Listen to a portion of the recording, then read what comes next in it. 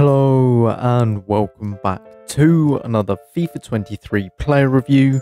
Today's player review is the brand new Showdown Thomas Meunier, so let's get into it. As always, I start off with the team that I use for the review. As you can see, it is a 4-2-4 Bundesliga League R hybrid. I actually very much enjoyed using this team over the three games. So with that being said, let's look at the stats for Meunier after my three Rivals games. Now on the screen you can see I played three games in Rivals, scored zero goals and got one assist, but to be honest, when you watch the gameplay, I think it's arguably two assists actually. So let's head into the gameplay. Okay, so into the gameplay section we go. Now, this first game is literally him just making a pass because nothing else really happened in game number one.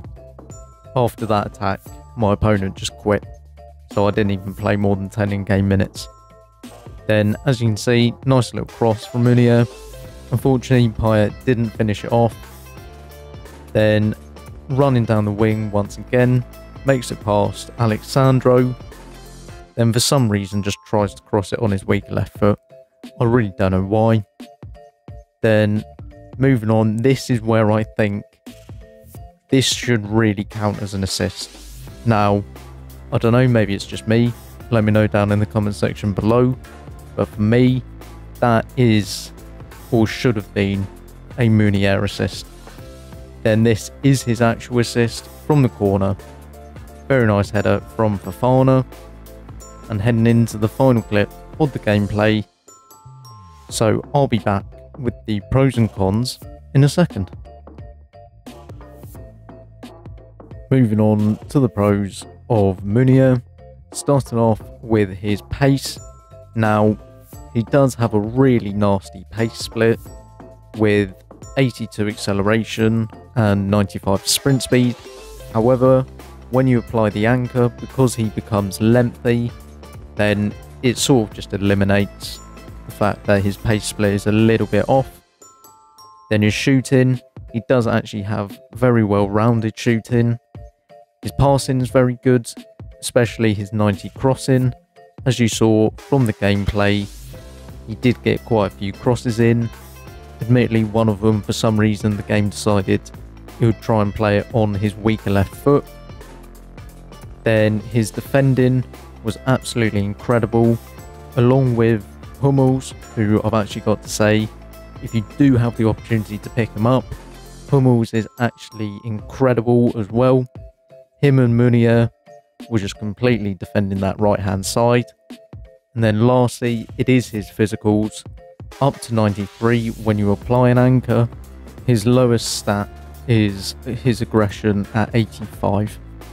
Onto the cons for Meunier. I'd have to say his 80 agility and 74 balance. And to be honest, that's really it about this card. Because he's 6 foot 3, you do feel that he does turn a little bit like a truck. But to be honest, once he's on the ball, if you're running in a straight line, then to be honest, his agility and balance doesn't really make that much of an impact. So would I recommend completing this Showdown Thomas Meunier? For me, it's a no-brainer. It's, you have to do it. For under 40k, this card is one of the best fullbacks on the game. He's got great pace, great shooting, great passing, great dribbling, great defending, great physicals. I mean, you really can't go wrong with this card. And if Dortmund do win, then he'll have a five-star weak foot. Now, I do think Dortmund probably will win against Union Berlin. I know it's second against third, but I do personally believe Dortmund will be edging this one. So he will get a plus two as well. So his stats will become even better. And all of this for under 40k, just complete him. It's a no-brainer for me. I'd like to thank you all for watching this video.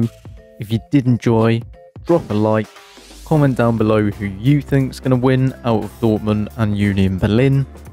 And if you're new around here, hit that subscribe button to not miss out on any FIFA 23 content. But for now, I'll see you in the next one.